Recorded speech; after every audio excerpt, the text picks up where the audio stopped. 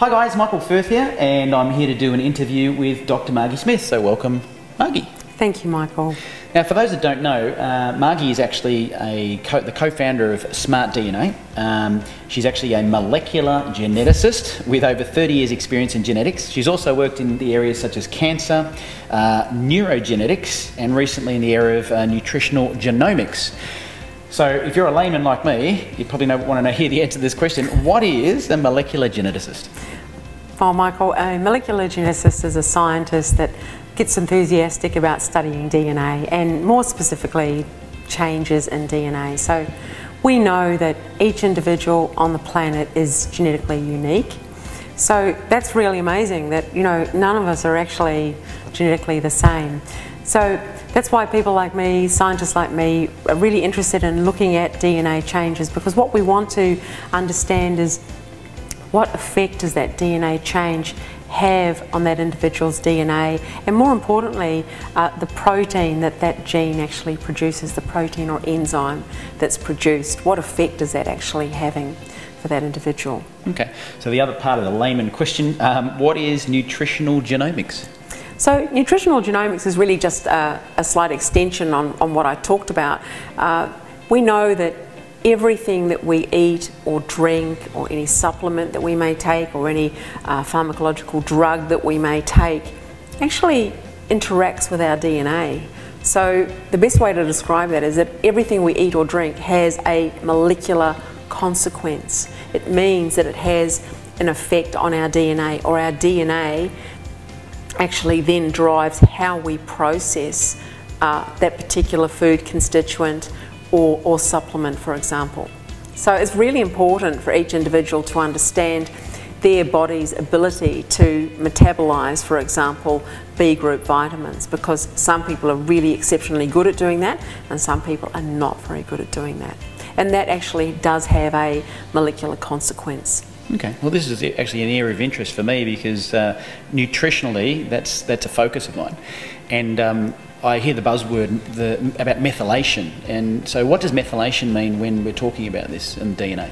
Yeah, methylation definitely is a, a buzzword for, for the moment, and certainly a pathway that so many um, practitioners are, are, interested in.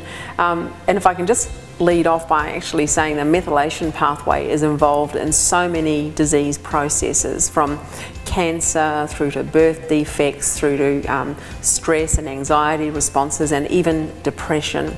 So this pathway really is involved in helping our cells to faithfully replicate, for example. So if there's one thing that we want our DNA to do, is to, that is to faithfully replicate and keep dividing well. So it's involved in our DNA repair. Uh, the methylation pathway uh, allows us, for example, for our brain to wake up and function properly. Mm -hmm. um, some people may feel that they have brain fog, for example, during the day. Um, and that's actually a, a result of most likely their methylation pathway or their neurotransmitters not being turned on properly. Um, so the best analogy I can give you is uh, if we've got lights on a, a, Christmas tree, we've decorated the Christmas tree, we've turned the lights on. Some people, those lights may be quite dim if they're not methylating properly. Um, individuals may actually, have sleep problems as well, problems with getting to sleep because they're not methylating properly. They may experience more stress. And whereas for other people, if they are very good at methylating, um, they they may have their lights going on in the right um, in the right sequence on that Christmas tree. So they actually are able to function um, better without uh, any intervention um, in their methylation pathway. So it's, it's really important. And the other aspect that's really exciting to me is that, you know, we're all expected to have to be happy, okay? But it's a biochemical event. So mm. some people, in terms of their brain's biochemistry, have more biochemical happiness and some people have less. So you know, we can actually then start looking at that for people. So it's an amazing thing, really, this whole methylation pathway. This is possibly why I bounce out of bed in the morning and I get a strange look from Nicole. There you go, here we go. So, so some people, uh, when their pathway is attended to, will actually then start slowly benefiting from, from their pathway being attended to. So that's important. I think the other key um, message around uh, the methylation pathway is that a byproduct of it is that we produce homocysteine. Now, homocysteine we want to reduce back to cysteine, okay, so that we can actually start the pathway going around again. Now, cysteines we know are incredibly important because if there's something that enzymes love in our bodies, it's a cysteine molecule. So what we know is from our methylation pathway that some people are very good at naturally producing cysteines and some people have a reduced capacity to produce these cysteines. They may also, if they're not reducing homocysteine particularly well, have elevated levels of homocysteine, which has a, a, a consequence in terms of heart health. Okay. So, so the methylation pathway is part of our detoxification and it's also a part of the pathway where we do produce cysteine molecules so we can produce then some glutathione naturally. Just on that, the glutathione again is, is a, an area of focus um, that I've looked into a bit. So, you know, in terms of glutathione and, and detoxification, tell us more about that. So glutathione, we really need it. It's, it's one of our master antioxidants for our bodies and it has so many roles. For example, um, it reduces cellular oxidative stress, so that's incredibly important. And we also have a glutathione detoxification pathway as well. Now, the amazing thing about uh, these cysteine molecules or glutathione is that they have a thiol group attached to them, which is like a little arm, whereby it, they grab hold of toxins and they are removed from our body. Now, some individuals will have GSTT1, which is an enzyme, and GST, um, GSTM1, which is another enzyme, and they are able to detoxify reasonably well. But we know that 50% of the Caucasian population have GSTM1 deleted, and around 90% of the Asian population have GSTT1 deleted.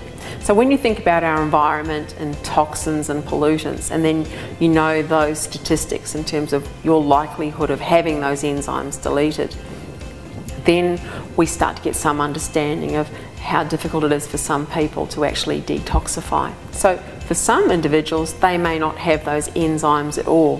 That means they didn't get a copy from their mum or dad mm. of GSTT1 or GSTM1. So that has a significant effect now on their body's ability to detoxify. What that actually translates into is having to use a non-enzymatic pathway which is not as efficient. So it's possible to get into toxic overload. So those enzymes are very, very important. Uh, they also depend upon levels of vitamin C. Um, and for those individuals, having glutathione support is certainly going to help them. They need more cysteines. They basically are individuals who don't have enough cysteine molecules in terms of being able to detoxify. This is fascinating stuff. So, if someone's this sort of highlights now if someone's taking a particular nutritional supplement, not getting the same effect as somebody else, they can now look into it, get a DNA test, and discover how their body works, can't they? We actually then have cellular knowledge, as it were, in terms of how that individual is able to detoxify. Um, and as I said, there's a spectrum. Some individuals will be able to do that very, very well, and other individuals will not be able to do that as well. So you have to think. Uh, if an individual is not particularly good at detoxifying either through their methylation or glutathione pathway, uh, if they are given uh, you know, nutritional support in that arena, that uh, they're actually going to start detoxifying. So it's about going low and slow for some individuals when they are approaching how to improve their body's ability to detoxify. Okay, so in terms of getting a DNA test, um, you, you, we can get a practitioner that someone can talk to, yeah? Smart DNA uh, must work with a qualified practitioner, mm-hmm. um, so we can provide uh, that service to qualified practitioners. Fantastic. Well, for those that are listening, um, one of the people that we've worked with uh, a bit is actually Sarah Kenny, who is actually an accredited uh, and qualified um, practitioner. Uh, practitioner. to work with on the smart DNA uh, process. So she'd be able to help you if uh, you need to look a little further. So thank you for your interview today. I think it's thank been you, really Michael. enlightening. Thank you so much, Michael.